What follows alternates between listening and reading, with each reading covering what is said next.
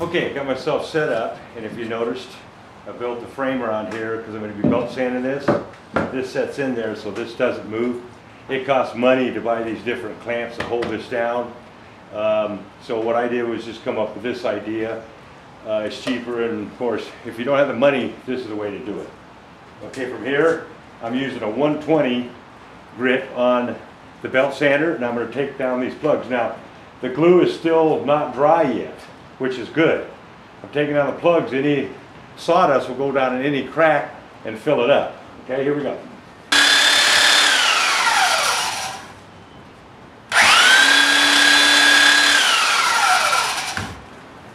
Okay, you're going to go ahead and do that with all eight plugs. Once they're flat, then we're going to go over the whole thing with a belt sander and get it real smooth. Okay, all the plugs are, they're all sanded down with a 120 from the belt sander.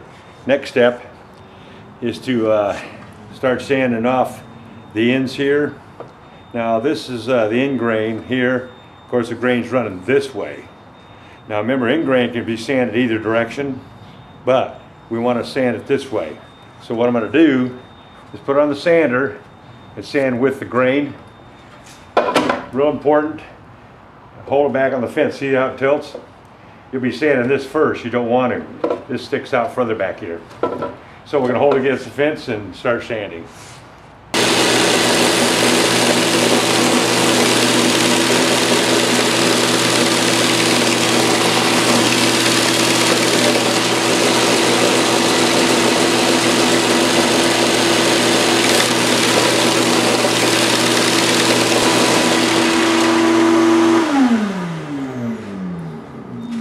All right, got her all flat and smooth. Now I used an 80 grit on this because uh, sanding end grain can be real hard. Even though this is a softer wood, it's still real hard to sand. Okay, so I'm going to do all four sides with this. And then we'll uh, go from there.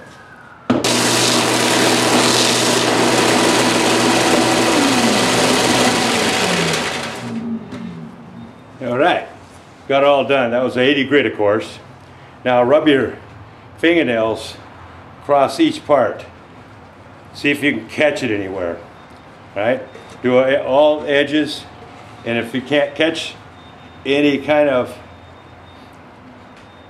you know, overhang, then you're good. From here, we're going to take it to uh, 120. Before we take it to a 120 grit, we're going to go ahead and get the lid set up on it.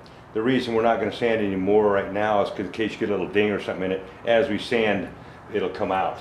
Okay, so what I'm going to do is I'm going to have the back of this flat. Okay, that's where the hinges will go. All right, now I want to, uh, I'm going to go for about a half inch overhang on the three sides. Remember the back's flat, so you just want a half inch overhang here and here. So let's see, we got um, we got 16 inches, so we're going to cut this to 17. And we got nine and a quarter. I'm only going to add a half half inch because I'm not doing the back. So nine and a quarter would be nine and three quarters. Okay, so what we'll do is take it over to the table saw. First thing we'll do is just cut off a little bit of this, measure 17, cross cut this, and then send it through the rip fence, which would be nine and three quarters. Okay. Okay, now that it's been sent through the table saw, cut this off. We measured out here to 17, and then this way we cut it to 9 and 3 quarters. Now remember, uh, this side was already jointed, this side was, but since you cut it off, you're going to want to send it through the jointer one time, which I did already. So from here we're going to go over to the bench sander, and we're going to sand both end grains here, because remember like I said, this is so hard, it still has the 80 grit on it, so we're going to take it over there and sand both edges. Okay, we're going to take it over here and we'll hold it against the fence and we're going to set it down and we're going to sand both end grains, okay? Let's get them as best we can and then uh, from that point we're going to have a nice board, okay? Let's get started.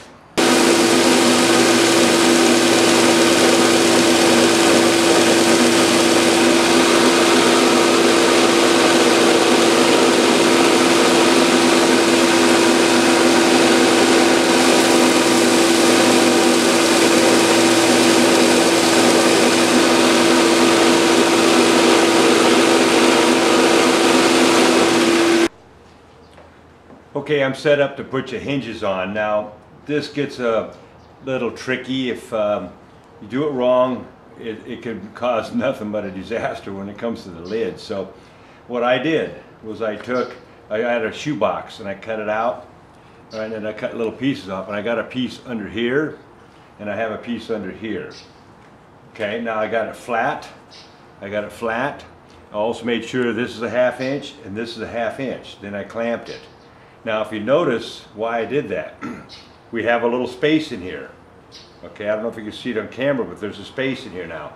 You gotta have that space because when you go to lacquer this, it'll swell up a little and you don't want it to hit first here before the front hits, otherwise the lid stays up. Okay, so that's the first thing you have to do to set yourself up to put the hinges on. Now, kind of look at them, see where you want them. All right, um, I'm out here is too far. They just don't look right. In here is too far. So you kind of eyeball to see which one. I'm going for about two inches in. So I'm gonna, what I'm gonna do is put a, I already got this at two inches. Go ahead and do them, set them both for two inches, like so. From here, we're gonna have to draw lines and center punch them. So let me zoom up on this. Okay, from here, we might make sure that we have the middle of this in the opening there, okay? You want the hinge to where it lines up right there, like just like so. Okay, now we're gonna go in two inches. I just have it on here, so move it over. Line this up, look straight down at it. You want the middle of this in the middle of the line. So from that point, put your pencil straight in and mark a circle on both of them. Okay? All right, now we have a circle. Now it's really important that you center punch right in the middle of the circle. All right, now I got two dents. The purpose of that, if you see some of this like this darker grain here and the darker grain in here, that's harder than the whiter part. So if you didn't do this and try to put the screw in, it's going to jump off the harder part of the grain and go into the softer part. Now it throws everything off. Okay, so now what you're going to do is put, you're going to drill it out just a little bit, just for the screw to, to guide itself in. Okay, I'm not going to go very deep. I just want to, so this straight in, just, just a little bit. That's it. See, I got a little teeny drill bit. You don't have to go very far. Now, you're going to do the same to this, the bottom. You're going to do the same to the, the other hinge. then when you're done, we're going to put the screws in. Okay, now that I got these in, go ahead and circle. Now it's going to be easier because you got those locked down. Go ahead and put your circle. Okay, from that point you can go ahead and do what we did up here and you're going to do the same on the other hinge. Okay, we've got the hinges on. Uh, be real careful when you're drilling your pilot holes on this. Remember, this is only like 5 inch thick. You don't want to go through, so be careful. Here's not an issue because it's all the way, it's, you know, you, don't, you won't go through there, but careful on this side. Now, if you're going to paint this, I suggest you go probably two of these, uh, put two in here and two in here. You want a bigger gap because paint is a little thicker and you don't want, like I said, you don't want this to hit before the other side does. Okay, let's take it apart. All right, so we're gonna open it up. You see now here's our shoebox pieces. All right, now here all nice it closes. All right, from there we're gonna, uh, I'm gonna route out the three edges here. I'm gonna put a little design. I'm not gonna do it on the back because it's flat, but I'm gonna go around the three edges with some kind of design. Okay, this is the design I think I'm to come up with here. If you noticed, I got this set about halfway. I'm not to cut out the full design the first time. It uh, tears the wood, it's just too much. So I got set about halfway. I'm going to run it around, then I'm going to lower this, and then I'm going to run around to get the, get the full design. Okay? Well, what do you think? Maybe just that design's good enough. Don't even take it to a full design. You don't want it too fancy because the box not fancy. So you know what, I'm, I think I'll just leave it with that design. So I'm going to go ahead and finish this off. Okay, here I got just a simple design. I'm not going to lower the, the bit anymore and put a fancier design on it because it's a simple box.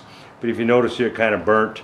Uh, that bit is not very sharp, so this is what happens, especially on end grain, because it's so hard. So next step I'm going to do is I'm going to take off the hinges, and then I'm going to go over to the bench sander, and I'm going to put a 120, probably a 220, a 320 on it, and then I'm going to stop, and then I'm going to put it back together, and then we'll put the plugs in. Okay, I got it set up with a 120. So now it's time to go ahead and uh, sand all flat surfaces with a 120. So let's get started on that.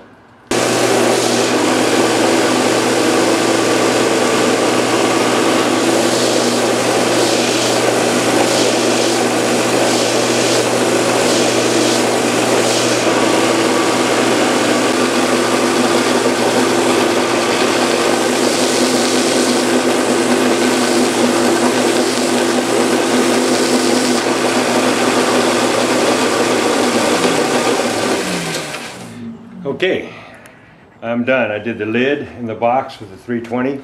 From this point, what we're gonna do is we're gonna go over and do our finish sanding. We're gonna finish the lid in the box. That's our next step. All right, it's time to finish sand. Now, if you're using a block, okay, we're gonna start with a 320, even though we did a 320 on the bench sander. We're still going to do a 320 again. Now if you're using a block, make sure you follow the grain. Okay, like this so far and so forth. You're going to do the top, go across. Okay, we're going to finish the whole box off. Now, the advantage of this is I can go any direction with this, but I still follow the grain anyway, but this is less muscle power. Remember, you got scratches in here.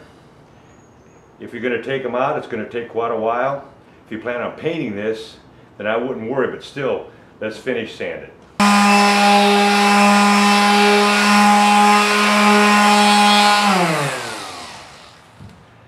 Okay, I did this side, so I got a little rubber mat.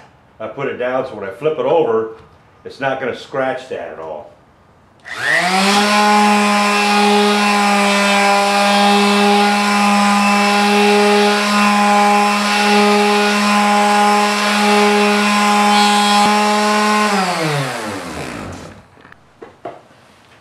Okay, uh, I the whole box with a 320 and a 400. Now, what we're going to do is take a 400, another piece of 400. What we want to do is go around all the edges, okay, and then just sand them off where they're not quite as sharp. So we're going to do all the edges on the whole entire box, okay. Now, I already sanded this out, but just do like so. Don't have to do much, but you're rounding the edges. Okay, now be careful not to put the sandpaper on here because now you're going to scratch this. So when you do it, put maybe like this so you don't accidentally put scratches across here. Okay, let's do the entire box. Okay, we completed a 400 grit on the entire box. Okay, you want to wipe it all down. Okay, go around and check, make sure all the scratches are out of it and uh, there's no dings or any kind of dirt marks. That's why I use this rubber. The, these are for uh, tool drawers. They work really good. Because once you start finish, you don't want to set it on anything else but something soft. Okay, next step, we're going to put the plugs in. Okay, I'm going to take a little air and just make sure you blow out the plugs in all eight of them. Now you take a small regular toothpick, you break it off like so. Okay, now, if you noticed here, I went and marked all the plugs with the grain, which way it's running. It's a little easier, because sometimes you can't tell, so this way you can go through them all real fast. So the grain's not like that, so since I'm staining it, I want it to run the same way. So what you want to do is just squirt a little glue on your tabletop with a broken end. You put some glue and you go and kind of go around the inside of it. Okay, you don't want much on top. You don't want it to come out. You don't want the glue to come out uh, because stain, when you put stain on it, the stain will not take the glue, and then you'll see the glue. All right, so from there, you got enough glue in it. Push it in, and just lightly tap it with a uh, something plastic. All right, now we're going to do that to all eight of them. Okay, we got the plugs um, all glued in. The next step is to stain it. Okay, now um, this is a natural stain here because it's fir or pine. I notice if you do a natural stain, it just looks better. It's up to you. Take a sample, and if you want to put black walnut or some other kind of stain on it, it's up to you. But um, I just like the regular natural fir, fir or pine. So let's go ahead and start here.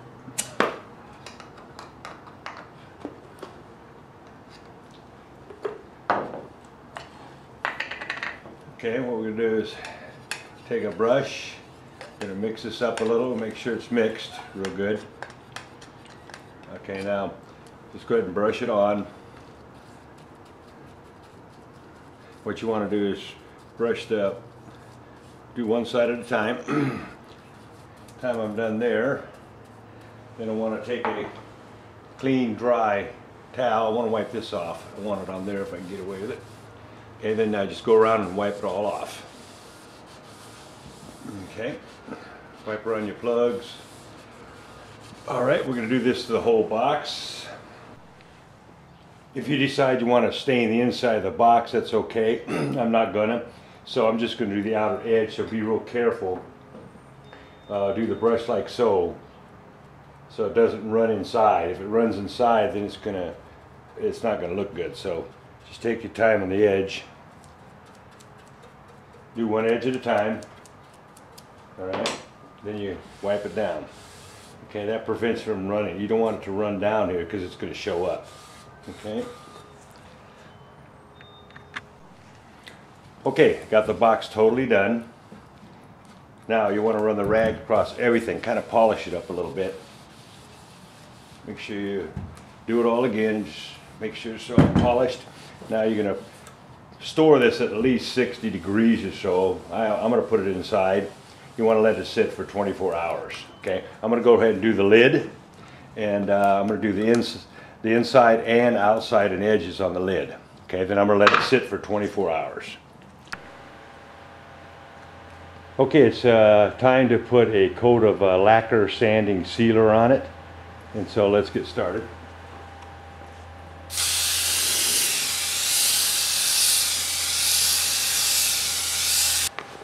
Okay, it's uh, been sealed. I'll do the bottom of each part later. Let it dry for at least an hour. Then you're going to have to sand it real lightly with a 400 and then repeat this process a couple more times. This is the third and final coat I'm going to be putting on of the lacquer sanding sealer. Remember, uh, use a 400 on it. Let it dry at least an hour depending on weather okay but just barely sand it. You just want to get it smooth without removing too much of the sealer okay this will be the last sealing coat.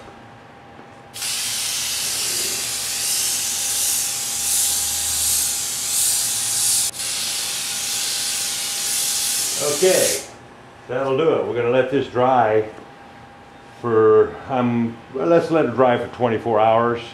Then we're just going to lightly touch it with a 400 at that point we're going to lacquer it it's been 24 hours, so this is our third coat of lacquer sanding sealer.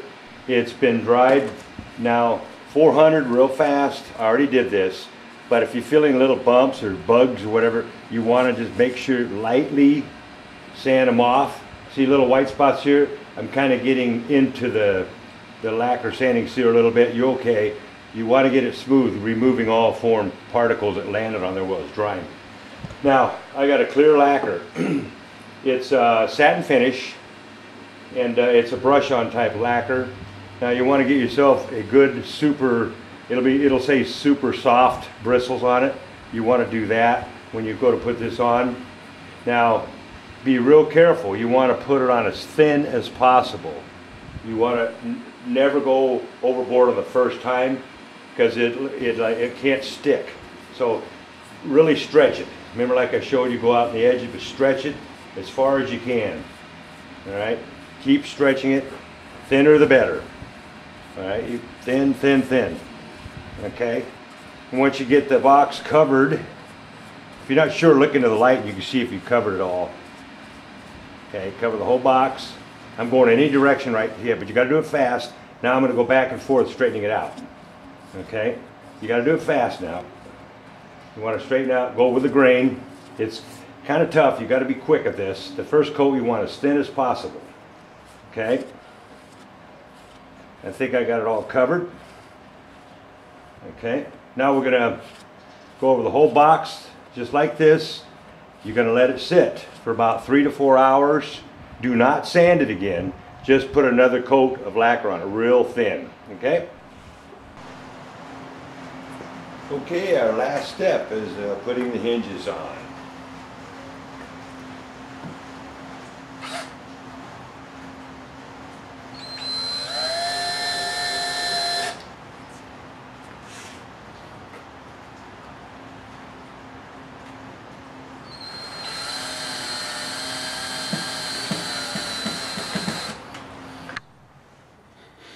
I decided to go a little further with the box. So what I did is I uh, took some clear pine and I planed it down half inch here, then another piece and I planed it to quarter inch.